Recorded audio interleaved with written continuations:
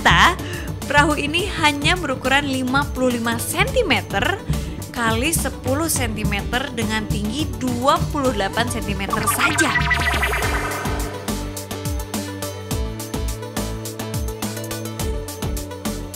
Ini tempat asli perahu itu awal adanya. Sekarang perahunya tuh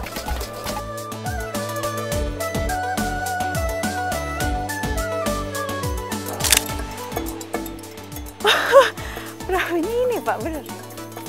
Jujur pak saya pikir perahunya dua kali 6 meter atau tiga kali 7 meter. Ternyata ini apa ya.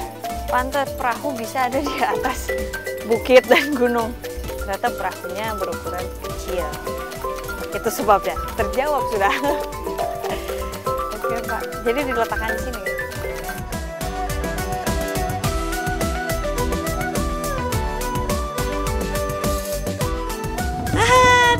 ternyata perahu ini hanya berukuran 55 cm kali 10 cm dengan tinggi 28 cm saja. Sangat di luar dugaan. Meski demikian, di benak saya masih terdapat pertanyaan. Kalau perahunya sekecil ini, kenapa tak disimpan di museum saja ya? ini apa kalau misalnya dibawa keluar pernah ada kejadian yang bisa diceritain nggak pak? Kita tahun 40 itu pernah bawa ke kampung B. Mhm. Ada dua orang guru bawa untuk tunjuk anak sekolah Oh, untuk memperagakan. lalu Karena Eh. terjadi hujan angin selama tiga hari tiga malam tidak pernah berhenti oh gitu. Terus dikembalikan sini berhenti, dibawa kembali. dibawa kembali. Uniknya penjaga Jong Dobo seperti Sergius Moa yang menemani saya ditunjuk secara turun-menurun. Jadi ini yang menjaga turun temurun ya pak ya. Terus ini yang baru diketahui yang oleh penduduk desa ini yang menjaga. Sebelumnya masih banyak lagi. Oh, ini nama bapak ya? Iya.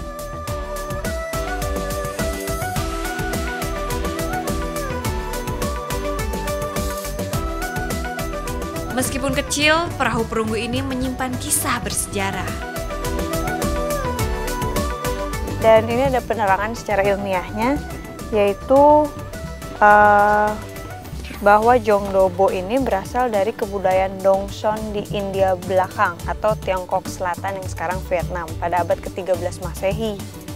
Terus penelitian kedua ini berasal dari kebudayaan bangsa Sumeria pada abad ketiga sebelum Masehi di bawah dari Lautan Tengah ke India.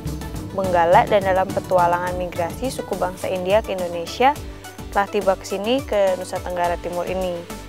Dari keseluruhan mitos, historis, dan ilmiah di belakang, jadi Jongdobo ini disimpulkan berasal dari India belakang, tepatnya di Benggala.